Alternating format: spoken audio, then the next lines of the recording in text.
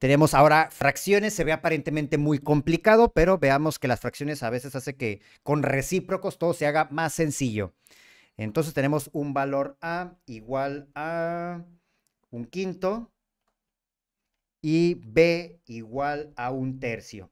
¿Cómo se hace esta evaluación? De la misma forma, se recomienda reemplazar donde está la variable por un paréntesis.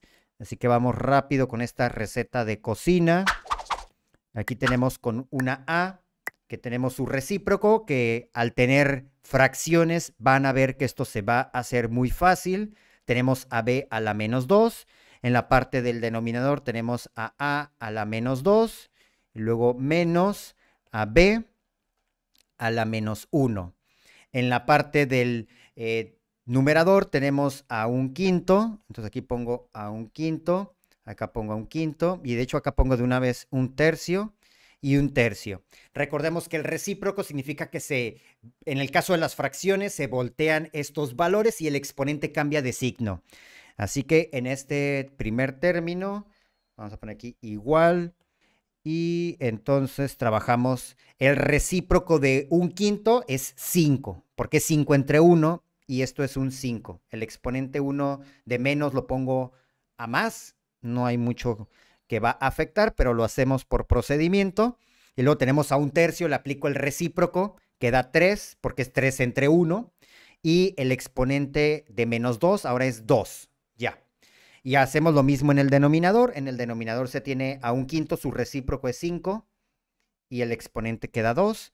Menos al recíproco de un tercio, que es 3. Y su exponente de menos 1 cambia más 1. Ya. Ahora hay que desarrollar las potencias. Aquí tenemos entonces a 5 a la 1 es 5. En el siguiente término se tiene a más. 3 por 3 es 9. En la parte del denominador 5 por 5 es 25. Y tenemos menos que multiplica el resultado de 3 a la 1 que es 3. Simplificamos. Tenemos entonces acá 9 eh, más 5 es 14, que divide, que divide a la diferencia de 25 menos 3 es 22. Esto a su vez son números pares, se puede simplificar. Así que sacamos mitad en la parte de arriba es 7 y mitad en la parte de abajo es 11.